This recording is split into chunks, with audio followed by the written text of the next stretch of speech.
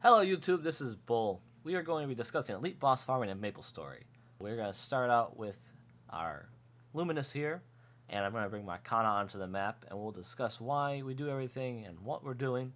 The Luminous is chosen because they have a great mobbing ability, but I will discuss more options as the video continues. We are on Gold Beach, Orange Octopus, but that's not the only map you can use. You can use multitudes of maps. You can Elite Boss solo, or you can do it in a party. I would recommend a party of three. So let me first explain what Kishin is, and you get it from Kana. Okay, so we have our Kana out. The skill is called Kishin Shoukan. Summons the demons Hana and Yuki, who attack enemies trapped between them. The demons strengthen dark energy on the map and decreases the monster respawn time. So it's a very useful skill for increasing the spawn rate and decreasing the amount of time it takes to spawn. So we're just going to double click to use the skill. Kana does not take MP pots, instead it recharges mana very quickly. You can continuously summon this skill over and over again until the mana runs out. Okay, so we're back to the Luminous. This is the world map. Default key is M. You can always check to see what level mobs are around you using this feature. You see a little red arrow that keeps pointing to the yellow dot. That's how you see what mobs are on the map that you're currently on and what level they are. You highlight your mouse over it, says says Susel Octopus Slime, level 42. And the mobs here are equal to our level, so level 42, 42, we're, we're even. If you want to summon an elite, you have to be within 19 levels. So, since these mobs are level 42, you need to be 23 to 61. That's when you could be here, and that's when you can summon elite mobs. Now, you can always gain experience from any mob. But in order to summon the elite, you need to have that level range at this map. Always take into account the 19 level difference because you will not be able to get any of the bonus stage loot if you're outside that range. In this next section, we'll be summoning the elite boss, and I will be fast forwarding to speed up time as it takes about an hour to actually summon the elite boss. When summoning elite boss, there are 22 stages involved. You can start and stop at any point during this process. To start a stage, you are required to be within 19 levels of the mob on the map and need to kill 120 of those regular mobs. Keep in mind, there's a 3 minute cooldown between each stage. After 120 mobs are killed, a message will appear in the middle of the screen and an elite mob will summon. An elite mob is a larger version of the mob on the map with more HP and special abilities. Killing that mob will drop rare items and trigger another message to appear. Use these messages to keep track of your progress through stages. You will need to be on the map when messages appear in order to see them. After maintenance occurs, all maps are reset and will begin at stage 1. Let's go over stages. There's a total of 22 stages. When you summon an elite mob, a message on the screen will appear. The message says, powerful monsters have appeared within the dark energy. Stages 1 through 16, after you kill the elite mob, the message will say, The dark energy is still here, it's making the place quite grim. Stages 17 through 20, this message will appear. You feel something in the dark energy. Stage 21, you'll receive a warning screen message with yellow text and red border, and the screen will have a purple border around the edges. There will be two elite mobs and one elite boss. Stage 22 is the bonus stage, where you can obtain extra loot, experience, and mesos. Let's explain what a timer is and how it's used. A timer is basically anything you use to keep track of time in the game. We want to keep track of time between stages as to not waste time killing unnecessary mobs. Three of the most common timers are elite boss drops, dropping an item from your inventory, or using a clock. Between each stage, there is a 3 minute cooldown, which we are keeping track of. The time it takes for an item to despawn in game is 3 minutes. I prefer one of the elite mob drops since they are instanced. An instanced item is one that is dropped by killing a mob or boss. These items can only be seen and picked up by you. The elite mobs from all stages can drop instanced items to anyone who does one or more damage to it.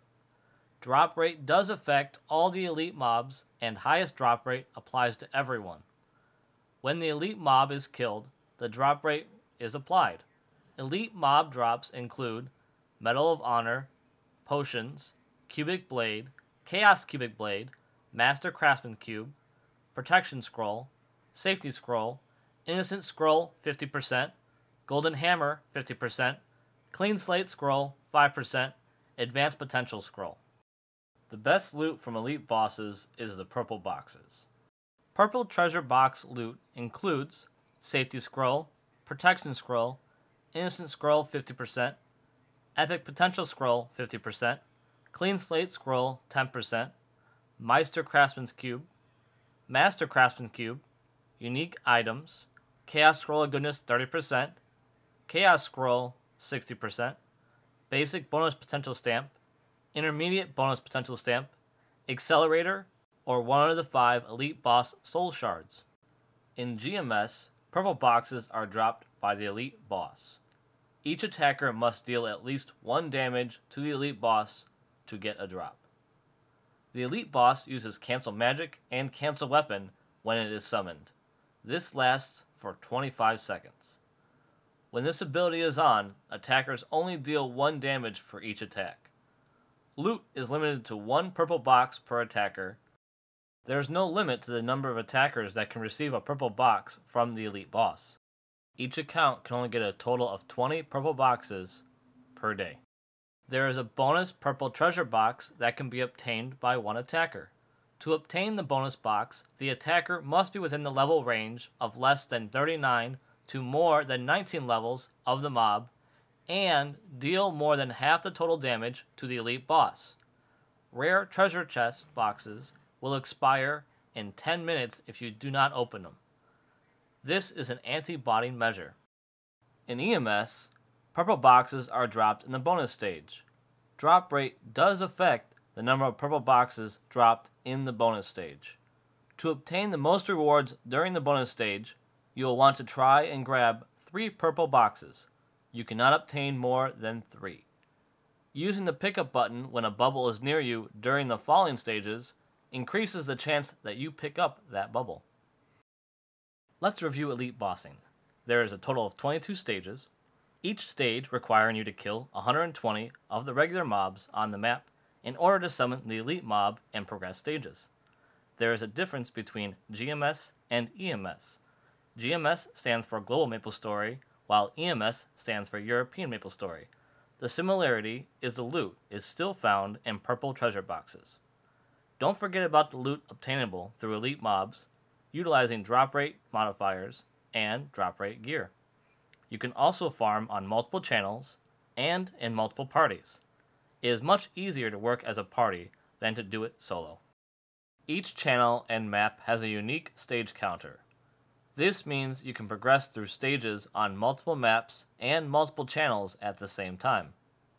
For example, you're at Gold Beach, Hardwave Beach on Channel 1, currently just finished Stage 17. You're waiting for your 3 minute cooldown timer, and progress the stage on that channel while you wait.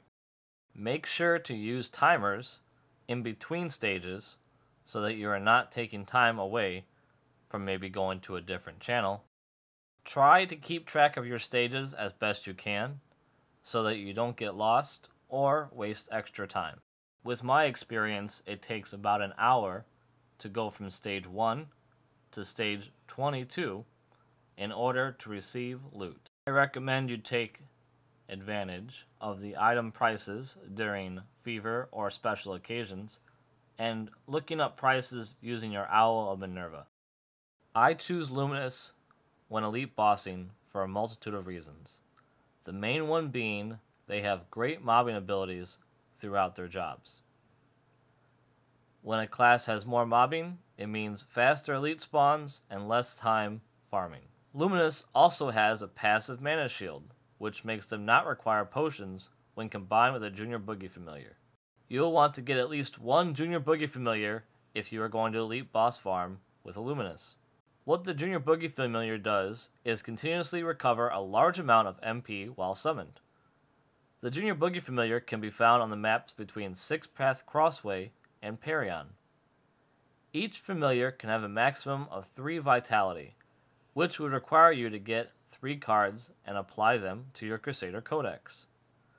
When the familiar runs out of vitality, it will despawn.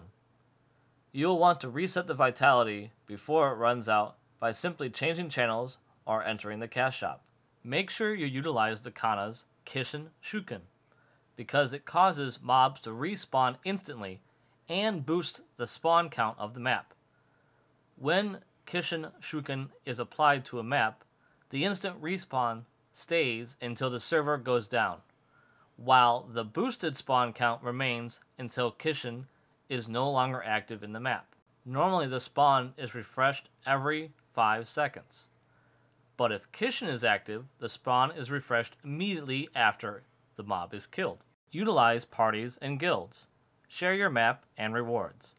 Just don't be that person who steals other people's map and hard work. There are five different versions of elite bosses, each representing one of the five explorer classes. The first one is the Rampant Cyborg. The second one is the Vicious Hunter. The third one is the Black Knight. The fourth one is the Mad Mage. And the fifth one is the Bad Brawler. These bosses have increased health with multiple abilities. They can also teleport around the map to attack you. These bosses will spawn in areas of Maple World and Grandis. They will not spawn in Singapore, themed dungeons, or party quests. There's three different bonus stages, each lasting 22 seconds. The first is the raining bubbles, in which bubbles will rain from the top of the map to the bottom. Touching the bubble will receive loot. The second is the mimic chest, which requires a normal attack to break open and obtain loot using the manual pickup to loot. The third is the flying mimics, in which the mimics will fly around the map and drop clustered bubbles. Touching the bubbles will receive loot. There was new runes released in GMS with the version 0.165 Pink Bean update. One rune in particular has affected elite boss stages. This rune is known as the Rune of Darkness. This rune summons a random number of elite mobs, anywhere from 1 to 4 elite mobs at a time when the rune is activated.